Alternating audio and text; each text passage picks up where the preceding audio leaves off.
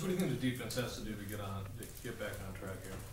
Well, I think uh, as far as the last game goes, you saw a defense that was resilient. You know, we fought until the last fourth down. Um, I think we've uh, continued to get better with the little things. You know, finishing on tackles, uh, pursuing to the ball, uh, being physical, things of that nature. So I think as long as we keep pushing the needle in the right direction, that we'll be all right.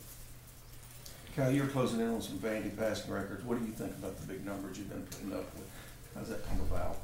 Um, you know, I try not to think about that because at the end of the day, it's about wins and losses, and um, you know, it's a team game, and uh, you know, I'm just focused on trying to, you know, help my team win uh, this week against Western Kentucky.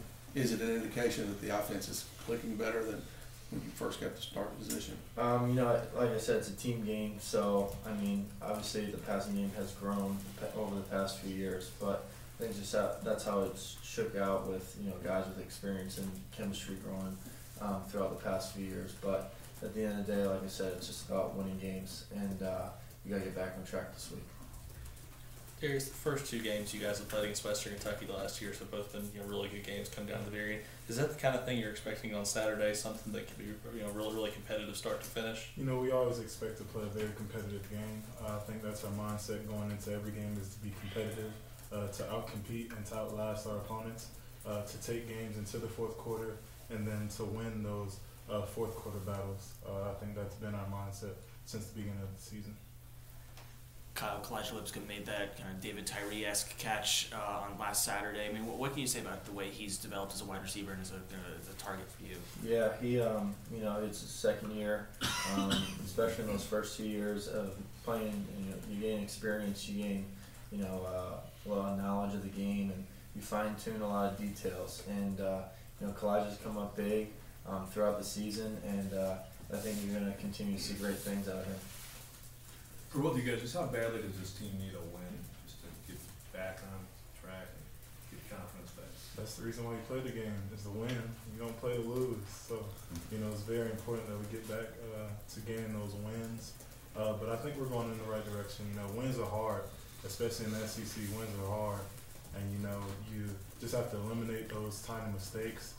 Uh, it's the little things uh, as we continue to reiterate. It's the little things, and as long as we keep pushing in the right direction, we'll be fine. Yeah, same thing. Um, you know, we got to take it one week at a time. Um, we're on to Western Kentucky, and our full focus is going on one and zero this week. And uh, you know, you play the game to win, and uh, nothing else. If you do, if you're playing for anything else, I think you're playing for the wrong reasons. So, um, you know, just like every week, we need to win. So, yeah. Speaking of that, in this streak, losing streak, has there been a, a team meeting or anything to boost morale, uh, keep from losing hope? I think we've all sti stuck together, uh, you know, real close. I think we're a you know very tightly knit team. I think everybody's you know stayed together, and uh, you know we're we're heading in the right direction. And uh, I think that you know uh, we got to get a win this week, and I think it'll be um, yeah. So that's a full focus, just get on win this week. Darius, it seemed like getting into a bowl game was more of the expectation rather than the goal this season for this team. You got three wins now, got four left to get to bowl eligibility. Is that kind of that reality kind of set in, and you kind of is that creeping into the back of your head that bowl that six win mark? Uh, no, I don't. We don't. We try not to look that far ahead in the season. We try and go one and zero every week. Uh, so, as far as now, today, this week, we're going one and zero against Western Kentucky. So I think that's where our focus is set. When that time comes, we'll focus on that. But the goal is always going one and zero. Kyle, Mike White said you guys became pretty good friends working at the Manning Academy together. Just what do you like about Mike as a person and as a quarterback? Yeah, he's a he's a real cool guy. Um, you know, great quarterback as you see.